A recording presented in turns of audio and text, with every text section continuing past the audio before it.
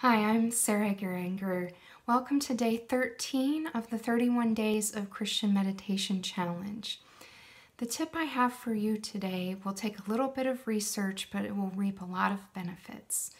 So, I would like you to look up your verse in a different translation. So, as I've said before, my meditation verse for 2020 is Galatians 6 9. And the version I am focusing on most is kind of a older NIV version. Let us not grow weary in doing good, for at the proper time we will reap a harvest if we do not give up.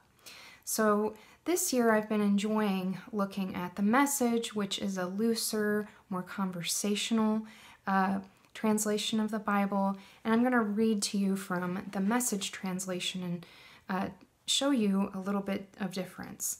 So let's not allow ourselves to get fatigued doing good.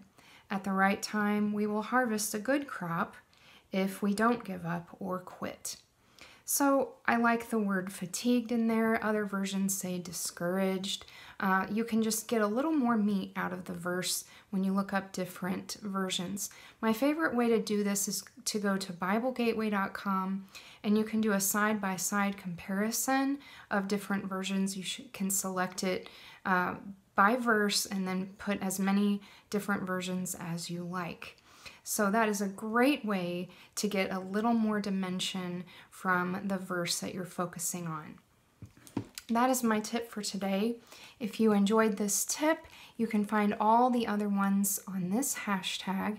And if you enjoyed this video, would you please like it, comment on it, and share it with someone who you know will appreciate it. Thank you.